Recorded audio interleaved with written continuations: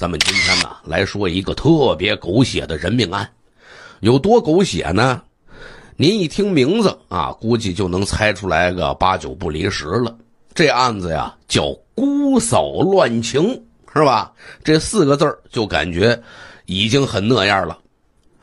二零零四年五月六号中午十二点的时候，湖南省澧县公安局刑警大队突然呢就接到了报警，说金罗镇有一个山脚底下发现了一具尸体。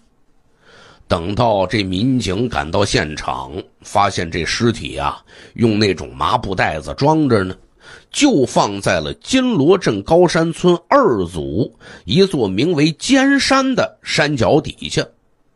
法医呢去了之后，小心翼翼的把那麻袋拿刀片啊就给划开了，打开这么一看，里边这尸体什么样子呢？高度腐烂，已经白骨化了。并且俩肩膀之间只有一个大窟窿，没有头了。这么一具无头尸体，把这上衣一拨开，虽然这肉是已经腐烂的差不多了，但是胸部呢带有胸罩。这要是男孩子、男性，那不可能带这个呀。再检查盆骨吧，这时候已经能够百分百确定死者是一名女性。经过了一整天的尸检，说实话，技侦人员呢也不容易。这尸体外边穿的这衣服啊，散发着一股恶臭味这技术人员呢，就从这尸衣里边捡出来了那么一小团东西。乍一看啊，认为应该是被尸液浸泡过的、已经泡腐烂了的纸张。这个意外的发现。就让侦破工作呢出现了转机，赶紧着吧，找技术人员去技术室来进行处理吧。经过了几个小时的精心处理，一张地下六合彩的广告啊就显现出来了。这纸张在放大镜之下，隐隐约约的能看见这么一些文字，写着“香港九龙六合彩特码玄机”。八零六八，还有写着周秀梅。地下六合彩的马报，这八零六八，看着又好像是来自福建某地的号码，还有一个女性的名字叫周秀梅。把这些线索串起来之后，警方就认为这周秀梅是不是死者呀？于是呢，刑警满怀期待的向福建某地警方发出了协查电传，可回复的结果是，当地呀有那么一个团伙，以周秀梅的名义向全国各地发出这地下六合彩的马报上万份发报人呢以提供地下六合彩中奖关键号码为借口为理由吧，每次呢骗取二百块钱的信息费。这周秀梅只是一个收款账号的开户名，所以应该跟死者没有任何的关联。这刚刚出现的希望，这就算是破灭了。受害者既然有这地下六合彩的马报，哎，他会不会给这周秀梅汇过款呢？于是，警方啊又请求福建警方查找汇款人的线索，同时继续在死者的衣物之中寻找痕迹线索。哎，这时候又有了一个惊喜，一团更小的异物啊，也不知道是什么物件，又从死者衣物之中被检验出来了。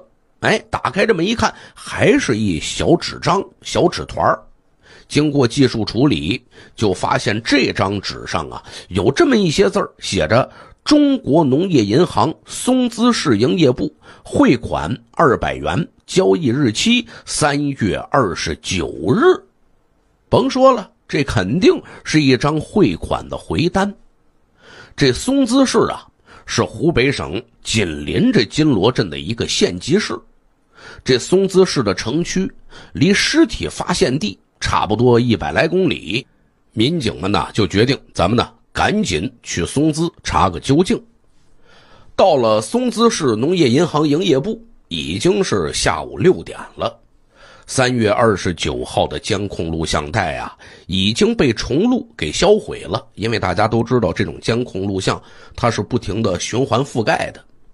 保管转款存根的营业员呢，也不在那儿，正好赶上休假出去旅游去了。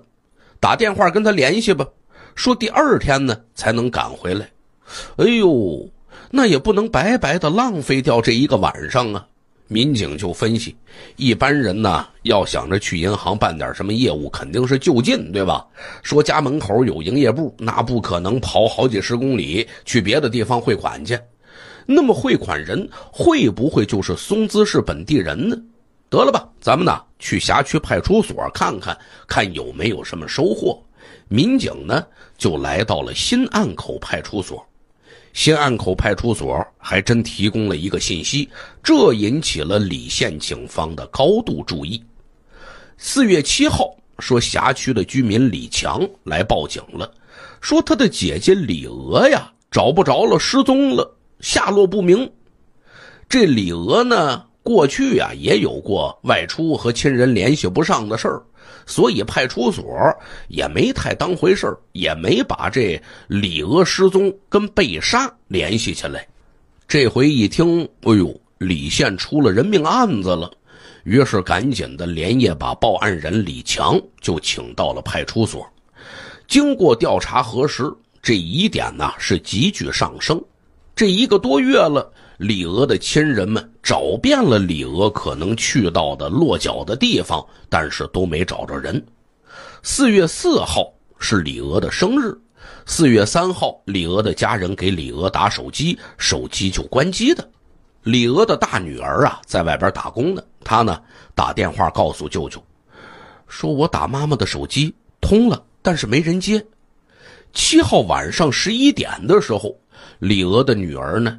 手机上接到了妈妈手机发来的短信，内容是三个字我死了。”据李娥的小女儿反映，她说呀，四月三号晚上，我接到了妈妈发过来的一条短信，写着“放心吧，妈妈在打牌呢，一切都好。”此后，她给妈妈手机打了无数次电话，有时候是关机，有时候呢是通了没人接。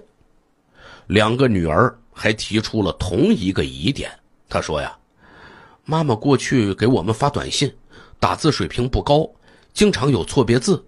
而最近收到的这两条短信，用字很准确，这不像是我妈妈本人发的信息。”李娥的邻居也反映了一情况，说四月二号上午十点，他跟李娥呢通过电话，约好了下午打牌。但是下午三点再约李娥的时候吧，手机就关机了。当天下午六点，这邻居呢就到李娥家里边去喊门去，就已经没有人应声了。四月六号，李娥的弟弟打开了李娥的家门，家里边啊没人，但是感觉地上有被拖过的痕迹。种种迹象表明，李娥的失踪太蹊跷了，甚至。有被杀的可能。一转眼来到了第二天了，松滋农行营业部的营业员呢也回来了，找出来了那汇款的底单，这是从上千份单据里面才查出来的。三月二十九号有一张汇到福建周秀梅账号上的存根，汇款人签名清晰的写着李娥，经过笔迹鉴定。和无头女尸衣袋里的汇款单的笔迹是一样的。此时，各种证据线索都表明，那具无头女尸很可能就是李娥。两天之后，DNA 比对的结果出来了，最终证实死者就是李娥。根据法医的尸检结果，还有其他线索，综合分析，李娥被害的时间应该就是四月二号。四月二号之后，李娥的手机已经落入别人的手里了。那么，到底这手机是被偷的、被抢的，是丢了，还是被凶手拿走了？各种可能性都有。甭管最终这手机是怎么落入别人手里的，反正必须得挖出来拿手机这人。围绕着受害人李娥的社会关系，还有手机使用情况，警方就展开了全面深层的调查，先后啊排查出来了重点怀疑对象六个人，但是呢，从作案时间等等方面，最终把这六个人给排除了。这时候，一个有价值的线索出来了，拿着李娥手机的这人呢，用这手机号打过一个座机号。机主反映啊，当时给他打电话的人是他的一熟人，叫毕玉松。有一个更可疑的情况是什么呢？这李娥呀，跟她的丈夫不和，常年是分居的，但是是住在同一个房子里边，同一个屋檐下，俩人不住一屋。李娥的丈夫呢，住在偏房。她的丈夫在四月二号晚上八点左右看见毕玉松骑着摩托车来过他们家。那么，这毕玉松又是什么人呢？李县警方啊，赶紧兵分多路，一路人马赶到这毕玉松的出生地老家湖北省荆州市。另外呢，多路人马到毕玉松曾经居住过的多处地点去进行调查。这毕玉松的情况算是被查了一个底儿掉。这毕玉松出生在一九六八年，是湖北省荆州市陶市镇新王村人。二十岁的时候结婚了，生了一个儿子，现在呢在外边打工。二十二岁的时候啊，因为盗窃啊被判处有期徒刑三年，跟妻子就离婚了。二十五岁的时候，刑满出狱之后，那就是浪迹天涯了，四处流浪了。二十八岁的时候，又跟一个女人结婚，生了一个女儿。结婚之后不久，他的妻子啊，忍受不了他的这种家庭暴力，这种无休无止的打骂，人家离家出走了。从那以后，这毕玉松带着女儿就租住在了松滋市城区，靠着开出租摩托车谋生。毕玉松的父母对自己这儿子也有一评价，哼，他呀就是一个又没德行又没人性的孽子啊！这毕玉松到底干过些什么事儿啊，让自己的父母这么评价他呀？上期节目咱们说了。民警来到了毕玉松的老家，见着了毕玉松的父母。父母对自己这儿子就一个评价，说这就是一个没有德行、没有人性的孽子啊！去年上半年，父母呢得到耕地占用补偿费五万块钱，这毕玉松怎么样啊？上来之后对父母、对弟弟那是拳打脚踢，就得把这五万块钱给我，要是不给我，我弄死你们！结果后来呢，还是没达到目的，他就把自己的儿子给关起来了，冒充别人绑架啊，就给父母打电话说呀，孩子让人给绑架了，赶紧的吧，把钱给我呀，我得给他赎身去啊。被警方侦破败露之后，给他父母气的呀，得了吧，搬家吧，就迁到外地去了。而毕玉松的弟弟也被毕玉松拿刀给砍伤了。被逼无奈之下，也跑到了湖南湘西吉首市自己做生意去了。大伙就想着离他远点啊，躲得越远越好。松滋警方呢，还提供了一个新的情况，说四月九号晚上，毕玉松翻窗户侵入了被害人李娥的小姑子黄琼的家，被黄琼的丈夫及时发现，把这毕玉松啊砍了七刀。这毕玉松呢？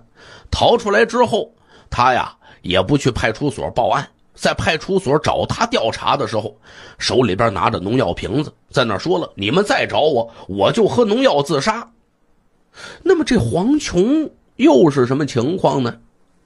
这李娥的小姑子黄琼，跟丈夫啊一向不和，黄琼的丈夫跟这李娥这是亲兄妹。当时就有很多人传说这黄琼呢跟毕玉松有不正当的男女关系，大家就认为这就是因为偷情引起的纠纷。派出所一看，哎呦，这种家事也不好参与，为了避免激化矛盾，也就暂时没有追究。在这之后，这毕玉松呢，带着九岁的女儿就出逃了，也不知道去哪儿了。更奇怪的是什么呢？毕玉松走了以后，这黄琼哎也找不着了，去向不明。这个情况就引起了澧县警方的高度重视。澧县警方啊，对毕玉松的追捕工作，对黄琼去向的追查工作同时展开。多路人马分别在湖北省境内毕玉松可能落脚的地方布下了天罗地网，上千份通缉令发往全国各地，对毕玉松进行网上追逃。毕玉松凡是近期联系过的人以及比较亲密的一些亲戚朋友，都被警方纳入了侦查视线。湖南的吉首市还有怀化市就成为了重点侦查的一个范围。五月十六号下午三点。民警啊，开车到了吉首市，经过巧妙分析，还有多处查访，终于找到了和毕玉松有过联系的两个人。其中一个人就说：“差不多十天以前吧，他带着女儿找过我。他当时啊，胳膊还包扎着呢。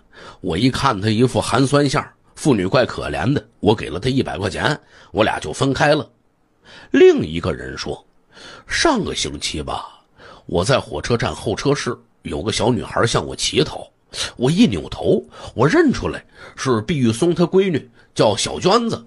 结果呀，她撒腿就跑。这小闺女啊，要面子。俩人呢，拍着胸对民警说：“警官呐，你们放心吧，我们动用一切关系，保证在三天之内找到他。”到了第二天下午，俩人就给民警打来电话了，说找着了。在火车站发现老毕了。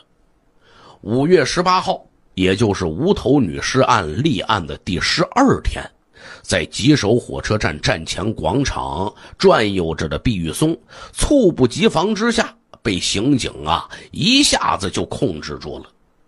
五月十九号，毕玉松在礼县公安局刑警大队审讯室接受审讯，根据交代。第二天，在距离尸体发现现场两公里之外的一处茅草丛里边，早就成了骷髅的李娥的脑袋被找了出来。五月二十九号，依照礼县警方的请求，内蒙古警方将黄琼在阿拉善右旗草原捉拿归案。至此，无头女尸案的侦破工作被画上了一个圆满的句号。不过，对于咱们来说，还是有很多疑点没弄清楚啊。毕玉松为什么要杀李娥呢？毕玉松说呀，二零零四年的时候，他第二个妻子不是离家出走了吗？毕玉松呢，带着女儿娟子，从荆州就来到了松滋市城区谋生，租了一小房子，买了一辆二手摩托车，就开始跑黑车、循规蹈矩的生活呗。女儿啊，很乖巧，很聪明，这是毕玉松最大的生活希望、生活寄托了。毕玉松呢，身高一米八，虎背熊腰的，显得很彪悍。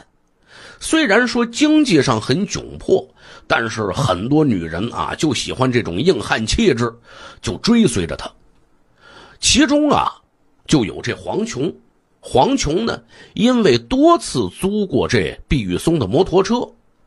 这一回又租了毕玉松的摩托车了，俩人这回也熟悉了呀。正好呢，当时是一个乌漆麻黑的夜晚，这黄琼坐在毕玉松的摩托车后座上，俩胳膊可就紧紧抱着毕玉松的后腰，脑袋也贴在了他的后背上。毕玉松这么一看，行啊，他是看上我了呀，那来吧。于是，带着这种积蓄已久的欲火。把黄琼就带到了他的出租屋，俩人骑着咔嚓啊，经过这么几次幽会之后，这黄琼跟毕玉松那叫一个如胶似漆呀啊，一天不见想的都不行了。外边呢也就传出来风言风语了。这毕玉松胆子大，他是毫不在意，可是黄琼那胆小。有一回啊，这黄琼就跟毕玉松说。你得替我出口恶气，我嫂子李娥欺人太甚，她不但不跟我哥睡觉，还把我哥赶到偏屋里住去了。毕玉松听自己的女人这么一说，行啊，我替你出气。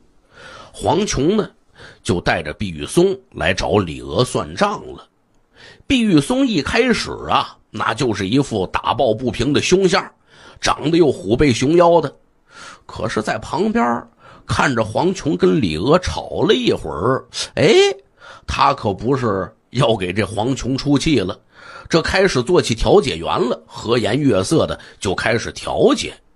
走的时候，这毕玉松背着黄琼，给了李娥一个特别挑逗的眼神这李娥呢，哎，也成功的接受了这种心电感应，这信号就接收了。嘁哩咔嚓的，这李娥跟这毕玉松也睡到一张床上去了，俩人也是有了奸情了。一天不见毕玉松，这李娥心里边也痒痒。这姑嫂俩呀。是谁都不爱自己的丈夫啊，都心甘情愿的当了毕玉松的玩物。这黄琼也知道了毕玉松和李娥之间的这种关系。这时候，黄琼想着，我想着跟我最爱的玉松长相厮守啊，白头到老。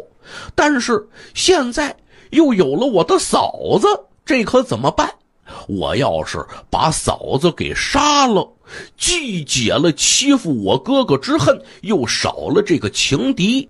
但是让谁杀呢？让玉松杀吧。他要是真把我嫂子杀了，那证明他是爱我的。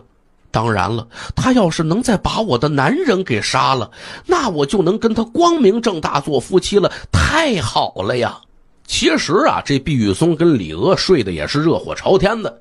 你真是突然让他去杀这李娥去，他也不一定乐意。但这天出了这么一事李娥呢就想着不能让毕玉松白占便宜，就在电话里跟毕玉松说了：“你得给我钱，至少二百块钱，你不能白睡我呀！你要是不给我钱呢，你现在就来一趟我家，我想你了。”嘿，这家伙啊，一开始还说不能白睡，这回就是啊，你可以肉偿，是吧？四月二号上午十一点，毕玉松呢兴致勃勃的骑着摩托车来到了李娥家里边了。俩人见面之后，三下五除二啊，就开始快乐起来了。可哪知道这时候钱包已经让李娥拿在手上了。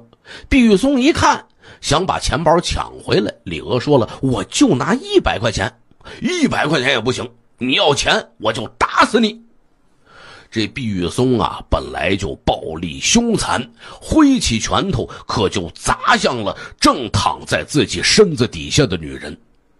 几下子之后，李娥可就晕了过去。毕玉松冷静下来，看李娥也不动弹，这心里边可就有点慌了：我是不是弄死他了呀？哎呀，得了吧，一不做二不休，我碎了黄琼的心愿吧。这么着，他紧紧地掐住了李娥的脖子，掐死李娥之后，把李娥的尸体抱进了衣柜藏了起来。当天晚上，他就叫出来黄琼，把这些事儿啊就都告诉黄琼了。俩人就商量，这尸体放家里不行啊，他会臭啊，必须得扔得远远的。这么着，找来了麻袋，把李娥尸体装进去。毕玉松骑着摩托车，黄琼呢？坐后座上，紧紧地抱着嫂子的尸体，俩人一路往南，可就开了过去。也不知道过了多久，也不知道骑到什么地方了，反正就看四周围啊全是山。得了吧，就在这儿了吧。毕玉松停下车来，扛起麻袋，一个人向山下就走去了。刚要把尸体扔了的时候，他就意识过来，不行。尸体万一被人发现了，那会认出来这是李娥呀。警察要破了案了，我不就没命了吗？他呢就拿出随身带着的砍刀，把李娥的头就给砍了下来，藏在了茅草丛里。之后又扛着这麻包继续往前走。这事儿都处理完了，黄琼啊在那高兴的都不行了，偎在毕玉松身上，那是柔弱无骨啊。在那儿就跟毕玉松说：“你真棒，你反正已经有了人命案子了，你干脆把我那男人也杀了，那样咱们俩就能做长久夫妻了呀。嘿，在黄琼的挑唆之下，这毕玉松还真听话，这才有了咱们之前讲过的四月九号，毕玉松翻窗侵入黄琼家被打的那一幕，想着把人黄琼的丈夫给杀了，结果让黄琼她丈夫砍了她七刀。派出所民警找到毕玉松以后，毕玉松他心虚呀，于是带着女儿赶紧就逃到了吉首。本来呢，他想着投靠弟弟，但当时差点他把他弟弟给砍死，人弟弟肯定不要他，只能是住在一家小旅店里面，靠着女儿乞讨啊来勉强度日。最终，这起因为狗血奸情而导致的人命案是破获了。无论是毕玉松、李娥还是黄琼，都为这种不正当的男女感情付出了惨重的代价。到案之后，毕玉松也是悔恨不已。但是再悔恨还有什么用呢？可怜的是他那九岁的女儿小娟子呀。